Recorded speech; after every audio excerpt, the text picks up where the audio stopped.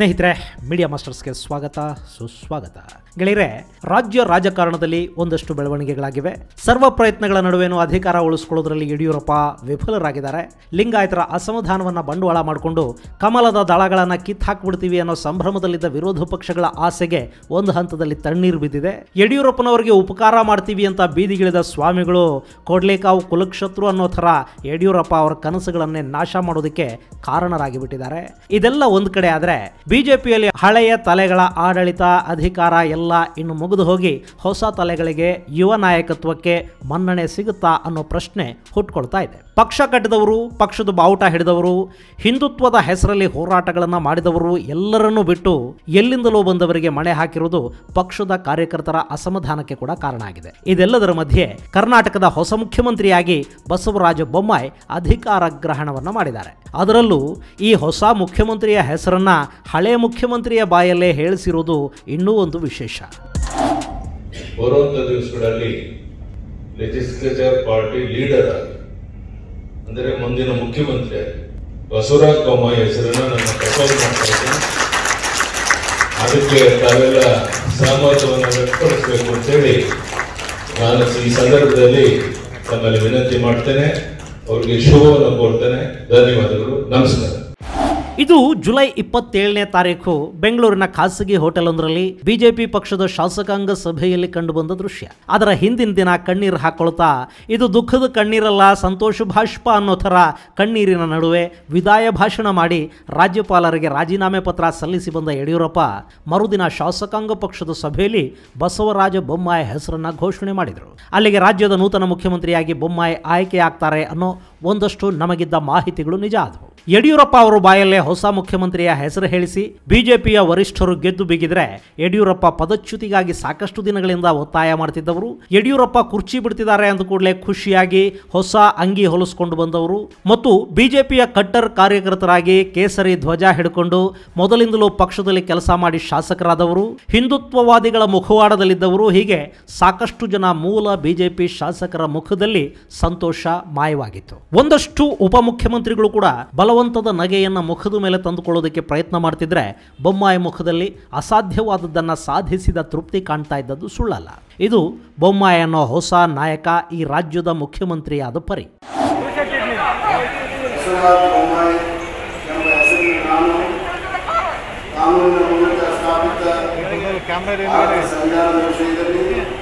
ನಿಜವಾದ ಶ್ರದ್ಧೆ ಮತ್ತು ನಿಷ್ಠೆಯಿಂದ ನಾನು ಭಾರತದ ಸಾರ್ವಭೌಮತ್ವವನ್ನು ಮತ್ತು ಅಖಂಡತ್ವವನ್ನು ಎತ್ತಿ ಹಿಡಿತೇನೆಂದು ಮತ್ತು ಕರ್ನಾಟಕದ ರಾಜ್ಯದ ಮುಖ್ಯಮಂತ್ರಿಯಾಗಿ ನನ್ನ ಕರ್ತವ್ಯಗಳನ್ನು ಶ್ರದ್ಧಾಪೂರ್ವಕವಾಗಿ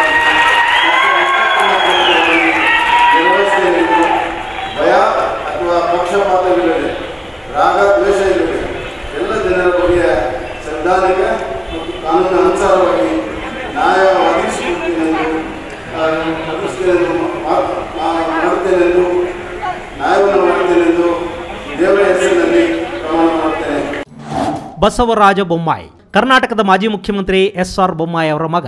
ಯಡಿಯೂರಪ್ಪ ಅವರ ಮಂತ್ರಿಮಂಡಲದಲ್ಲಿ ಗೃಹ ಸಚಿವರಾಗಿ ಕಾರ್ಯನಿರ್ವಹಿಸುತ್ತಿದ್ದ ಬೊಮ್ಮಾಯಿ ಯಡಿಯೂರಪ್ಪನವರ ಬೆಂಬಲದೊಂದಿಗೆ ಕರ್ನಾಟಕದ ಮುಖ್ಯಮಂತ್ರಿಯಾಗಿ ಆಯ್ಕೆಯಾಗಿದ್ದಾರೆ. ಬೊಮ್ಮಾಯಿ ಲಿಂಗಾಯತರೇ ಆದರೂ ಕೂಡ ಅದರಲ್ಲಿನ ಸಣ್ಣ ಉಪಪಂಗಡಕ್ಕೆ ಸೇರಿದವರು. ಆದರೂ ಲಿಂಗಾಯತ ನಾಯಕನನ್ನು ಇಳಿಸಿ ಮತ್ತೊಬ್ಬ ಲಿಂಗಾಯತ ನಾಯಕನನ್ನೇ ಪಟ್ಟಕ್ಕೆ ಕೂಡಿಸುವ ಮೂಲಕ ಕರ್ನಾಟಕದ ಲಿಂಗಾಯತ ಮತಗಳು ಕೈತಪ್ಪಿ ಹೋಗುವ ಆತಂಕದಿಂದ ಹೊರಬರುವ ಪ್ರಯತ್ನವನ್ನು ಬಿಜೆಪಿ ಮಾಡಿದೆ.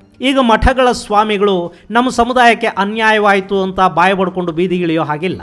ಅದನ್ನು ವಿರೋಧ ಪಕ್ಷಗಳು ಬಂಡವಾಳ ಮಾಡಿಕೊಂಡು ಲಾಭ ಮಾಡ್ಕೊಳ್ಳೋದಕ್ಕೆ ಅವಕಾಶವೂ ಇಲ್ಲ. ಇನ್ನು ಬೊಮ್ಮಾಯಿ ಮೇಲೆ ಯಾವ ಭ್ರಷ್ಟಾಚಾರದ ಆರೋಪಗಳೂ ಇಲ್ಲ. ಅವರಿಗೆ ಕಾಂಗ್ರೆಸ್ ಹಾಗೂ ಜೆ ಡಿ ಎಸ್ನಲ್ಲಿ ಕೂಡ ಮಿತ್ರರಿದ್ದಾರೆ. ದೇವೇಗೌಡರ ಕುಟುಂಬದೊಂದಿಗೆ ಅತ್ಯಾಪ್ತ ಸಂಬಂಧಗಳಿವೆ.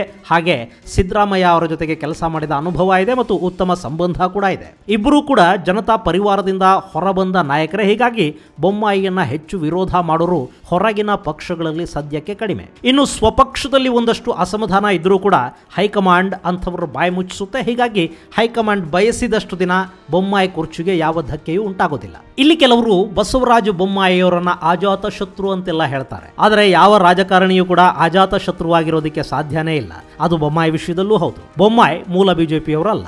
ಶಿಗ್ಗಾವಿ ಕ್ಷೇತ್ರದಿಂದ ಮೂರು ಬಾರಿ ಬಿಜೆಪಿಯಿಂದ ಆರಿಸಿ ಬಂದಿರೋದು ನಿಜವೇ ಆದರೂ ಅದಕ್ಕಿಂತ ಮೊದಲು ಬೊಮ್ಮಾಯಿ ಜನತಾ ಪರಿವಾರದಲ್ಲಿದ್ದವರು. ನಿನ್ನೆ ಮೊನ್ನೆಯವರೆಗೆ ಕೂಡ ಪ್ರಹ್ಲಾದ್ ಜೋಶಿ ಹಾಗೂ ಜಗದೀಶ್ ಶೆಟ್ಟರ್ ಜೊತೆ ಬೊಮ್ಮಾಯಿಗೆ ಉತ್ತಮ ಸಂಬಂಧಗಳು ಇರಲಿಲ್ಲ. ಸ್ನೇಹಿತರೆ ಬಿಜೆಪಿಗೆ ಬೊಮ್ಮಾಯಿ ಬಂದಿದ್ದು ಎರಡು ಸಾವಿರದ ಎಂಟರಲ್ಲಿ. ಅವತ್ತಿಗೆ ಕುಮಾರಸ್ವಾಮಿ ಜೊತೆ ಸೇರಿ ಸರ್ಕಾರವನ್ನು ರಚಿಸಿ ಉಪಮುಖ್ಯಮಂತ್ರಿಯಾಗಿ ಕಡೆಗೆ ಮುಖ್ಯಮಂತ್ರಿಯ ಪಟ್ಟ ಸಿಗದೆ ಯಡಿಯೂರಪ್ಪ ಕಣ್ಣೀರು ಹಾಕಿದ್ರಲ್ಲ. ಆ ಸಂದರ್ಭದಲ್ಲಿ ಶತಾಯಗತಾಯ ಅಧಿಕಾರಕ್ಕೆ ಬರಬೇಕು ಅಂತ ಯಡಿಯೂರಪ್ಪ ಹಠಕ್ಕೆ ಬಿದ್ದರು ಕರ್ನಾಟಕದಲ್ಲಿ ಅತಿ ಹೆಚ್ಚು ಪ್ರಮಾಣದ ಜಾತಿ ಧ್ರುವೀಕರಣ ಅಂತ ಆಗಿದ್ದು ಈ ಘಟನೆಯ ನಂತರವೇ. ಅವತ್ತಿಗೆ ಈ ಬಸವರಾಜ ಬೊಮ್ಮಾಯಿ ಜೆಡಿಯು ಪಕ್ಷದಲ್ಲಿದ್ದರು ರಾಜಕೀಯ ನೆಲೆಯ ಹುಡುಕಾಟದಲ್ಲಿದ್ದ ಬೊಮ್ಮಾಯಿಯವರಿಗೆ ಕೂಡ ಯಡಿಯೂರಪ್ಪನವರ ಆಸರೆ ಅಗತ್ಯ ಅನ್ನಿಸ್ತು. ಅಲ್ಲಿಗೆ ಜನತಾದಳದ ನಾಯಕ ಸೀದಾ ಬಿಜೆಪಿಯ ಪಡಸಾಲೆಯನ್ನು ತಲುಪಿದರು. ಶಿಗ್ಗಾಮಿಯಿಂದ ಎರಡು ಸಾವಿರದ ಎಂಟರಲ್ಲಿ ಗೆದ್ದರು ಯಡಿಯೂರಪ್ಪನವರ ಸಚಿವ ಸಂಪುಟದಲ್ಲಿ ಜಲಸಂಪನ್ಮೂಲ ಖಾತೆಯನ್ನು ತಮ್ಮದಾಗಿಸಿಕೊಂಡರು. ಎರಡು ಸಾವಿರದ ಎಂಟರ ನಂತರ ಬಿಜೆಪಿಯಲ್ಲಿ ರಾಜಕೀಯ ವಿದ್ಯಮಾನಗಳು ಹೆಚ್ಚಾದವು. ಭ್ರಷ್ಟಾಚಾರದ ಆರೋಪ ಹೊತ್ತು ಯಡಿಯೂರಪ್ಪ ರಾಜೀನಾಮೆ ಕೊಡಬೇಕಾಗಿ ಬಂತು ಆಗ ರಾಜ್ಯದಲ್ಲಿ ಸಿಎಂ ಬದಲಾವಣೆಯಾಗಿ ಯಡಿಯೂರಪ್ಪ ಅವರ ಬಯಕೆಯಂತೆ ಸದಾನಂದ ಗೌಡ ಮುಖ್ಯಮಂತ್ರಿ ಆದರು ಅಷ್ಟಾದರೂ ಬೊಮ್ಮಾಯಿ ಮಂತ್ರಿಗಿರಿಗೆ ಯಾವ ಧಕ್ಕೆನೂ ಬರಲಿಲ್ಲ. ಈ ಘಟನೆಯ ನಂತರ ಯಡಿಯೂರಪ್ಪ ಜೈಲಿಗೆ ಹೋಗಿ ಬಂದರು. ತಾವೇ ಮುಖ್ಯಮಂತ್ರಿಯನ್ನಾಗಿ ಕೂಡಿಸಿದ್ದ ಸದಾನಂದ ಗೌಡರ ವಿರುದ್ಧವೇ ಯಡಿಯೂರಪ್ಪ ತಿರುಗಿ ಬಿದ್ದರು. ಅವರು ಒಲ್ಲದ ಮನಸ್ಸಿನಿಂದಲೇ ಶೆಟ್ಟರ್ ಅವರನ್ನ ಮುಖ್ಯಮಂತ್ರಿಯನ್ನಾಗಿ ಕೂಡ ಮಾಡಬೇಕಾಗಿ ಬಂತು. ಆಗಲೂ ಕೂಡ ಬೊಮ್ಮಾಯಿಯ ಸಚಿವ ಸ್ಥಾನಕ್ಕೆ ಕುಂದುಂಟಾಗಲಿಲ್ಲ. ಕಡೆಗೆ ಬಿಜೆಪಿ ಪಕ್ಷದ ವಿರುದ್ಧವೇ ಯಡಿಯೂರಪ್ಪ ತಿರುಗಿ ಬಿದ್ದರು. ಕೆಜೆಪಿ ಸ್ಥಾಪನೆ ಆಯಿತು. ಆ ಸಂದರ್ಭದಲ್ಲಿ ಸಾಕಷ್ಟು ಮಂದಿ ನಾಯಕರು ಬಿಜೆಪಿ ತೊರೆದು ಯಡಿಯೂರಪ್ಪ ಅವರ ಜೊತೆ ಕೆಜೆಪಿಗೆ ಬಂದು ನಿಂತರು. ಆದರೆ ಯಡಿಯೂರಪ್ಪ ಅವರ ನೆರಳಲ್ಲೇ ಇದ್ದ, ಯಡಿಯೂರಪ್ಪನವರನ್ನ ತಮ್ಮ ರಾಜಕೀಯ ಗುರು ಅಂತ ಭಾವಿಸ್ತಾ ಇದ್ದ ಬೊಮ್ಮಾಯಿ ಮಾತ್ರ ಬಿಜೆಪಿಯನ್ನು ಬಿಡಲಿಲ್ಲ. ಹಾಗಂತ ಬೊಮ್ಮಾಯಿ ಬೇರೆ ನಾಯಕರ ಹಾಗೆ ಯಡಿಯೂರಪ್ಪನವರನ್ನ ವಾಚಾಮಗೋಚರವಾಗಿ ಬೈಕೊಂಡು ಓಡಾಡಲಿಲ್ಲ. ಬದಲಿಗೆ ಯಡಿಯೂರಪ್ಪ ಅವರ ವಿಚಾರದಲ್ಲಿ ಸಾಕಷ್ಟು ಅಂತರವನ್ನು ಕಾಯ್ಕೊಂಡ್ರು. ಹೀಗಾಗಿ ಎರಡು ಸಾವಿರದ ಹದಿಮೂರರ ಚುನಾವಣೆಯಲ್ಲಿ ಬೊಮ್ಮಾಯಿ ಶಿಗ್ಗಾವಿ ಮತಕ್ಷೇತ್ರದಿಂದ ಎರಡನೇ ಬಾರಿಗೆ ಆಯ್ಕೆ ಕೂಡ ಆದರು.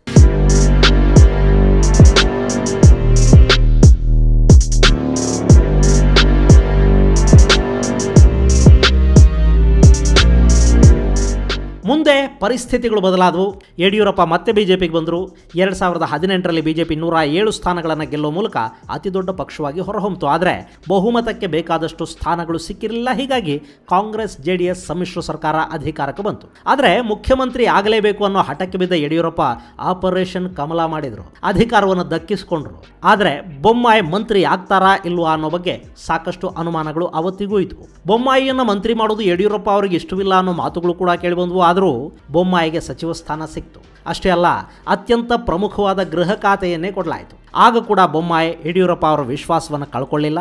ಅವರಿಗೆ ಏನೇ ಅಸಮಾಧಾನಗಳಿದ್ರೂ ಕೂಡ ತಮ್ಮ ಅತ್ಯಾಪ್ತರ ಬಳಿ ಹೇಳ್ಕೊಂಡ್ರೆ ಹೊರತು ಹೊರಗೆಲ್ಲೂ ಬಾಯಿ ಬಿಡಲಿಲ್ಲ. ಗೃಹ ಖಾತೆಗೆ ಸಂಬಂಧಪಟ್ಟ ಅಷ್ಟೂ ವಿಷಯಗಳಲ್ಲೂ ಮುಖ್ಯಮಂತ್ರಿಗಳ ಮಗಾನೇ ನಿರ್ಧಾರ ತಗೋತಿರೋ ಬಗ್ಗೆ ಬಹಳಷ್ಟು ಬಾರಿ ನಾಲ್ಕು ಗೋಡೆಗಳ ನಡುವೆ ಅಸಮಾಧಾನ ವ್ಯಕ್ತಪಡಿಸಿದ್ದ ಬೊಮ್ಮಾಯಿ ಎಲ್ಲವನ್ನೂ ಸಹಿಸಿಕೊಂಡರು. ಐ ಅಧಿಕಾರಿಗಳ ವರ್ಗಾವಣೆಯಿಂದ ಹಿಡಿದು ಇನ್ಸ್ಪೆಕ್ಟರ್ಗಳ ವರ್ಗಾವಣೆವರೆಗೆ ಯಾವುದರಲ್ಲೂ ಕೂಡ ಗೃಹ ಸಚಿವರ ಮಾತು ನಡೆಯೋದಿಲ್ಲ ಅನ್ನೋ ಮಾತುಗಳು ಕೂಡ ಹೊರಗೆ ಕೇಳಿಬಂದವು ಬೊಮ್ಮಾಯಿ ಮಾತ್ರ ಇದ್ಯಾವುದ್ರ ಬಹಿರಂಗವಾಗಿ ಏನೂ ಮಾತಾಡಲಿಲ್ಲ. ಇಂಥದ್ದೊಂದು ರಾಜಕೀಯ ಸಹನಾ ಶಕ್ತಿಯನ್ನ ಮೆಚ್ಯೂರಿಟಿ ಅಂತೀವಲ್ಲ, ಅದನ್ನ ಅವರಿಗೆ ಬಹುಶಃ ಜನತಾ ಪರಿವಾರ ಕಲಿಸ್ಕೊಟ್ಟಿತ್ತು ಅನ್ಸುತ್ತೆ. ಯಾಕೆಂದ್ರೆ ಬೊಮ್ಮಾಯಿ ತಮ್ಮ ತಂದೆಯ ಕಾಲದಿಂದಲೂ ರಾಜಕೀಯ ಪಡಸಾಲೆಯನ್ನು ಚೆನ್ನಾಗಿ ಅರ್ಥ ಮಾಡಿಕೊಂಡವರು. ದೇವೇಗೌಡ, ರಾಮಕೃಷ್ಣ ಹೆಗಡೆ, ಜೆ ಎಚ್ ಪಟೇಲ್ ಮುಂತಾದ ಸಾಕಷ್ಟು ಹಿರಿಯ ನಾಯಕರು, ಮುಖ್ಯಮಂತ್ರಿಗಳ ಜೊತೆ ಹತ್ತಿರದ ಒಡನಾಟ ಇಟ್ಕೊಂಡವರು ಮತ್ತು ತಮ್ಮ ಮೂವತ್ತೇಳನೇ ವಯಸ್ಸಲ್ಲಿ ಅವತ್ತಿನ ಮುಖ್ಯಮಂತ್ರಿಯಾಗಿದ್ದ ಜೆ ಎಚ್ ಪಟೇಲ್ರ ರಾಜಕೀಯ ಕಾರ್ಯದರ್ಶಿ ಕೂಡ ಆಗಿದ್ದವರು. ಇನ್ನು ಬೊಮ್ಮಾಯಿ ಅವರ ತಂದೆ ಎಸ್ ಆರ್ ಬೊಮ್ಮಾಯಿ ಕೂಡ ಒಂದಷ್ಟು ಕಾಲ ರಾಜ್ಯದ ಮುಖ್ಯಮಂತ್ರಿಯಾಗಿದ್ದರು ಅವತ್ತಿಗೆ ಅಂದ್ರೆ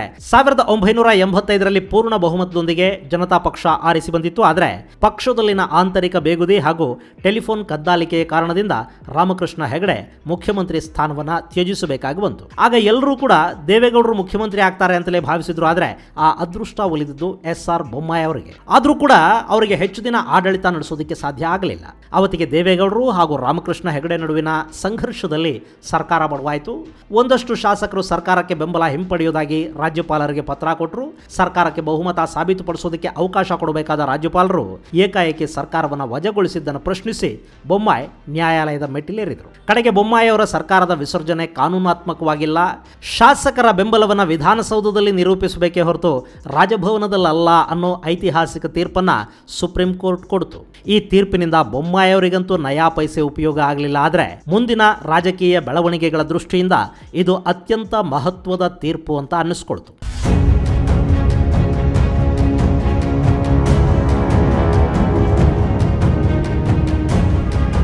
ಈ ತೀರ್ಪು ಬರೋ ಹೊತ್ತಿಗೆ ಮತ್ತೆ ಚುನಾವಣೆಗಳು ನಡೆದು ರಾಜ್ಯದಲ್ಲಿ ಕಾಂಗ್ರೆಸ್ ಆಡಳಿತಕ್ಕೆ ಕೂಡ ಬಂದಿತ್ತು. ಹೀಗಾಗಿ ಪಾಪ ಎಸ್ ಆರ್ ಬೊಮ್ಮಾಯಿ ಈ ರಾಜ್ಯದ ಮುಖ್ಯಮಂತ್ರಿಗಳಾಗಿ ಆಳ್ವಿಕೆ ನಡೆಸೋದಕ್ಕೆ ಅವಕಾಶ ಸಿಕ್ಕಿದ್ದು ಕೇವಲ ಎಂಟೂವರೆ ತಿಂಗಳು ಮಾತ್ರ. ಮುಂದೆ ಎಸ್ ಆರ್ ಬೊಮ್ಮಾಯಿ ದೇವೇಗೌಡರ ಕೇಂದ್ರ ಸಂಪುಟದ ಸಚಿವರು ಆದರು, ಗುಜರಾಲ್ ಸಂಪುಟದಲ್ಲಿ ಸಚಿವರಾಗಿ ಕಾರ್ಯನಿರ್ವಹಿಸಿದ್ರು, ಇಂಥ ಹಿರಿಯ ನಾಯಕನ ಮಗ ಬಸವರಾಜ ಬೊಮ್ಮಾಯಿ. ಬಸವರಾಜ ಬೊಮ್ಮಾಯಿ ಯುವ ಜನತಾದಳದ ಅಧ್ಯಕ್ಷರಾಗಿದ್ದರು ಸಾವಿರದ ಒಂಬೈನೂರ ತೊಂಬತ್ಮೂರರಲ್ಲಿ ಹುಬ್ಬಳ್ಳಿಯಲ್ಲಿ ನಡೆದ ಯುವ ಜನತಾದಳ ಸಮಾವೇಶವನ್ನು ಯಶಸ್ವಿಯಾಗಿ ನಿರ್ವಹಿಸಿದ ಕೀರ್ತಿ ಬಸವರಾಜ ಬೊಮ್ಮಾಯಿ ಅವರಿಗೆ ಸೇರಿತು. ಸಾವಿರದ ಒಂಬೈನೂರ ತೊಂಬತ್ನಾಲ್ಕರಲ್ಲಿ ಜನತಾದಳ ಅಧಿಕಾರಕ್ಕೆ ಬಂದು ದೇವೇಗೌಡರು ಮುಖ್ಯಮಂತ್ರಿಯಾದ ಸಂದರ್ಭವನ್ನು ಬಸವರಾಜ ಬೊಮ್ಮಾಯಿ ಚೆನ್ನಾಗಿ ಉಪಯೋಗಿಸಿಕೊಂಡ್ರು. ಆ ಸಂದರ್ಭದಲ್ಲಿ ಹುಬ್ಬಳ್ಳಿಯ ಈದ್ಗಾ ಮೈದಾನದ ಗಲಾಟೆಯನ್ನು ಸೌಹಾರ್ದಯುತವಾಗಿ ಬಗೆಹರಿಸೋದಕ್ಕೆ ದೇವೇಗೌಡರು ನಿರ್ಧಾರ ಮಾಡಿದಾಗ ಅದರ ಹೊಣೆಯನ್ನು ಬಸವರಾಜ ಬೊಮ್ಮಾಯಿ ಅವರಿಗೆ ವಹಿಸಲಾಯಿತು. ಬೊಮ್ಮಾಯಿ ಈದ್ಗಾ ಮೈದಾನದ ಸಮಸ್ಯೆಯನ್ನು ಬಗೆಹರಿಸೋದರಲ್ಲಿ ಯಶಸ್ವಿ ಕೂಡ ಆದರು. ಅವತ್ತವರ ಹಿಂದೆ ಜನತಾದಳದ ಶಕ್ತಿ ಇತ್ತಾದರೂ ಬಸವರಾಜ ಬೊಮ್ಮಾಯಿ ಅವರ ಹಠ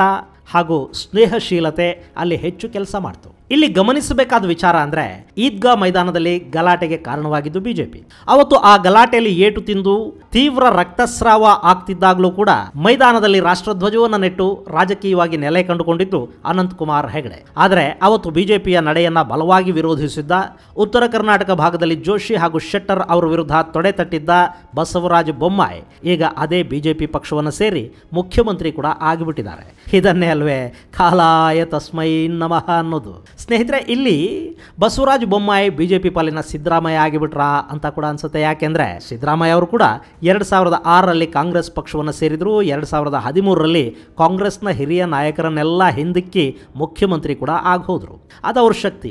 ಇಲ್ಲಿ ಬಸವರಾಜ ಬೊಮ್ಮಾಯಿ ವಿಚಾರದಲ್ಲೂ ಹಾಗೆ ಆಗಿದೆ. ಎರಡು ಸಾವಿರದ ಎಂಟರಲ್ಲಿ ಬಿಜೆಪಿಗೆ ಬಂದ ಬೊಮ್ಮಾಯಿ ಕೇವಲ ಹದಿಮೂರು ವರ್ಷಗಳಲ್ಲಿ ಬಿ ಜೆ ಪಿಯ ಮುಖ್ಯಮಂತ್ರಿ ಅಭ್ಯರ್ಥಿಯಾಗಿದ್ದಾರೆ. ಅದರಲ್ಲೂ ಘಟಾನುಘಟಿ ನಾಯಕರನ್ನ ಹಿಂದಿಕ್ಕಿ ಹಣಬಲವನ್ನು ಮುರಿದು, ಸಂಘ ಪರಿವಾರದ ಹಿನ್ನೆಲೆಯನ್ನು ಕೂಡ ಹೊಂದಿಲ್ಲದೆ ಮುಖ್ಯಮಂತ್ರಿ ಆಗೋದಿದೆಯಲ್ಲ ಅದನ್ನೇ ಅದೃಷ್ಟ ಅಂತ ಕರೆಯೋದು.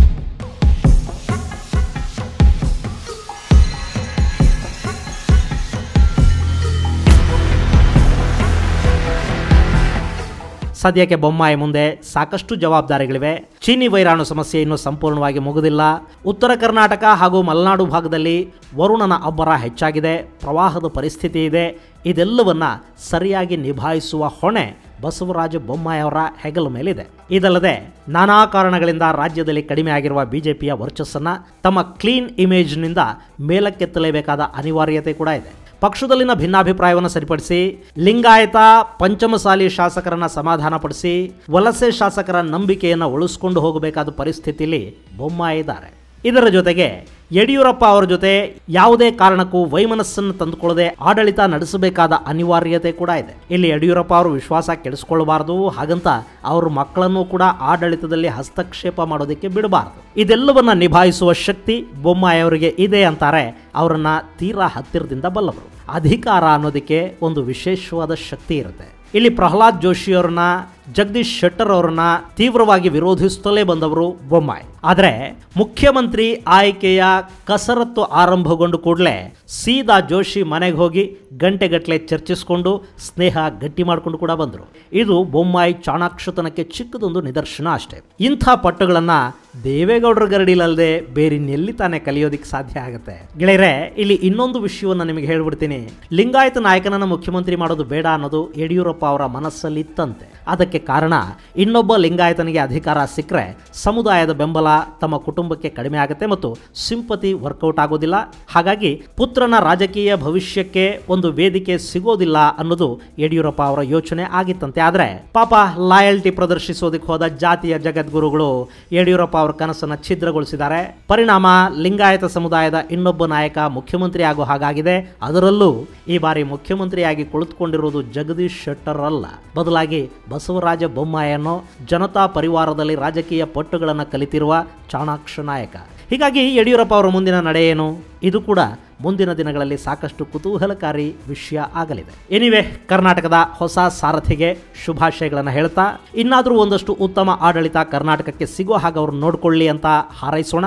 ಮುಂದಿನ ಸಂಚಿಕೆಯಲ್ಲಿ ಮತ್ತೊಂದು ವಿಶೇಷ ಜೊತೆಗೆ ಮತ್ತೆ ಭೇಟಿಯಾಗೋಣ ಅಲ್ಲಿವರೆಗೆ. ಜೈ ಹಿಂದ್, ಜೈ ಕರ್ನಾಟಕ.